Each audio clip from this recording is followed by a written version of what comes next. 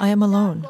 My granddaughter went to Zemun, and I was left alone. A ja sam sama.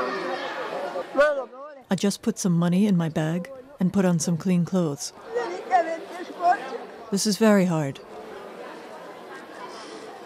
Stara sam 86 godina. I'm very old, 86 years old. Niko nije došao. Ja sam iz Obrenovca. Ja sam se zatekla I am from Obrenovac. I was in my apartment and I didn't want to leave because I thought it would stop.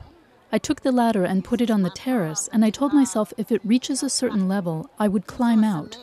That's what I thought would happen, so I didn't leave the apartment. Ja sam onda vidjela da me ni spasi. But when I saw water in the hallway, in the kitchen, in the bathroom, and in the bedroom, I realized there was no help for me, that even the ladder wouldn't help me, that it wasn't going to stop.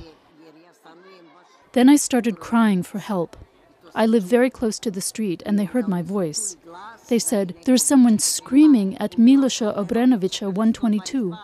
I was screaming for 10 minutes, and I would have drowned if they hadn't come.